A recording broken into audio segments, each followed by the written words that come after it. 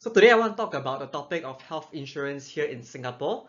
Specifically, I want to run you through three common considerations that most people will have when shopping for health insurance.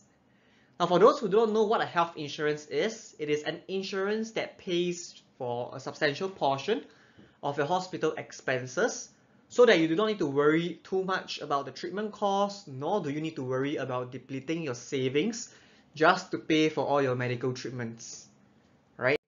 So the first question that I got pretty often is, do you need a health insurance if you already have an existing company insurance? My answer to this is yes, right? Let me explain. Now, when it comes to company insurance, you have to look at it from the perspective of an insurance company, right? If today you are an insurance company that sells both company insurance and personal insurance, would you design your company insurance in a way that will cannibalize your personal insurance business? The answer is no, right?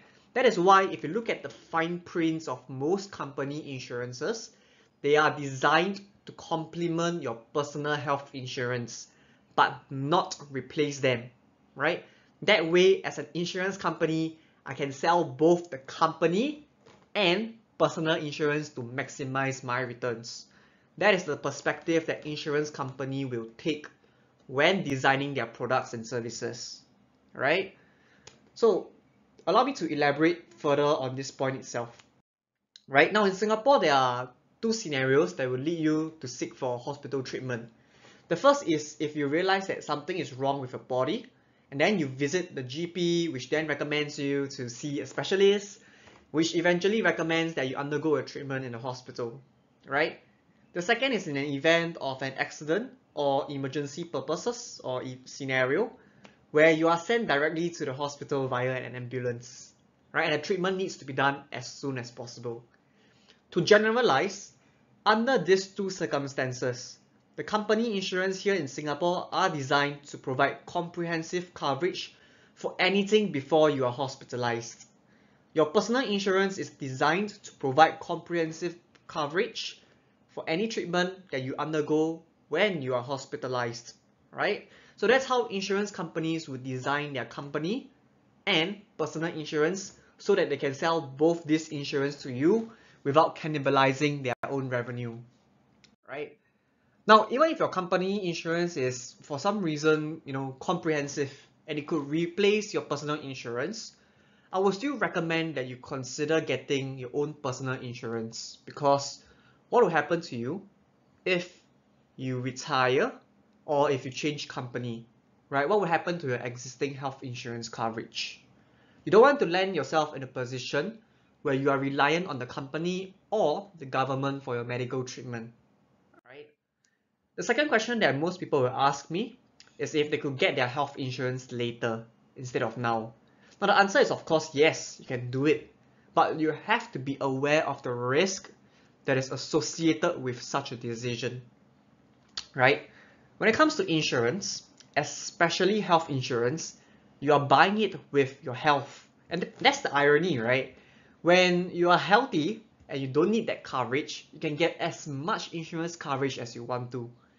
But in an event where you are not healthy and you need that insurance coverage, chances are nobody will want to insure you, right? Having said that, it will be best for you to lock in your insurability while you are still healthy instead of taking the risk of becoming uninsurable in the future just to save a couple of hundred dollars a year, right? The third question that I receive is, does it matter which company I choose from?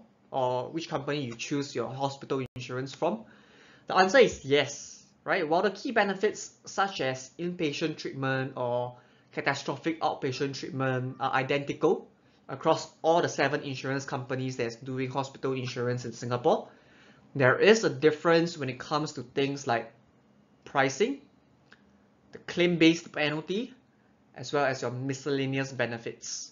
Now, I will not go into detail with regards to which company has what benefits or penalties, but in general, when it comes to pricing, sometimes the price difference between companies can go from 20% to even 100% a year.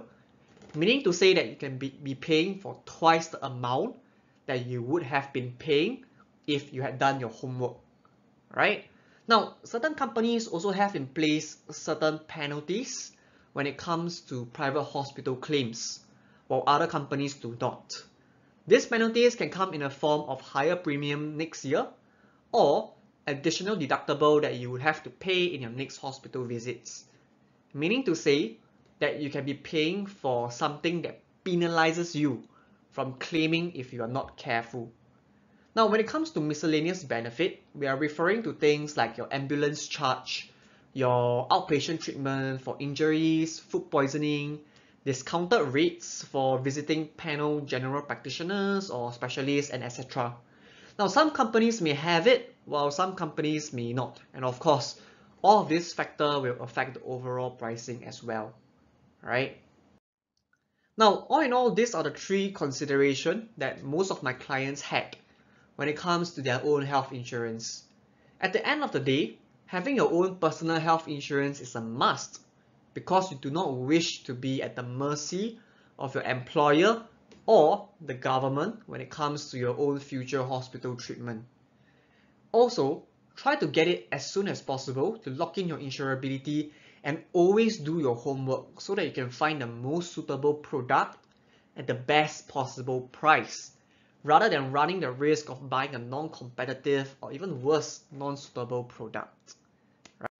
So that's all I have for the video today. If you'd like to find out how you can benefit by working with an independent financial advisor and a certified financial planner, you can reach out to me via my website. Do connect with me on the following social media platform as well to stay updated with future content and you can always slide into my DMs anytime when you have any questions. I'll be happy to help.